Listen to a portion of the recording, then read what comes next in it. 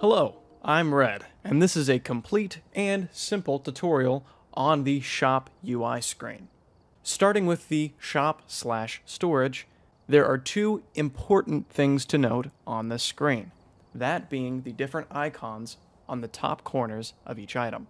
The top left icon symbolizes how many of that item you own. I own 10 flashlights, I own 10 candles, and I own 6 crucifixes. The truck symbolizes how many of that item I have on the equipment list. I only have one flashlight on the equipment list. It appears here. I want 10 crucifixes, so I'm going to add 4 crucifixes on the quantity screen and click buy. Now I own 10 crucifixes. I want 10 salts and 10 incense.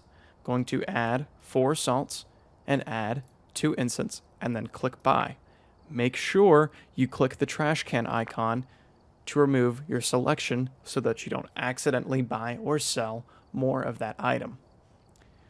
Switching to the loadout screen. The loadouts are where you select how many items you want to move to the equipment list. On loadout number one here, I have selected the maximum a number of items I can take in each item category. I've added two crucifixes, two firelights, three flashlights, and so forth. And when I click add, it will add this selection of items to the equipment list, as you can see here. When I click remove, it will remove this particular selection of items from the equipment list. If I go to my loadout number two, I have a solo loadout where two crucifixes are selected, four firelights, but only one motion sensor, one parabolic microphone, and one photo camera. If I click add, it will only add that selection of items to the equipment list. And when I click remove, it will only remove this selection of items. So, say I have every item selected in the equipment list and I go to loadout number two.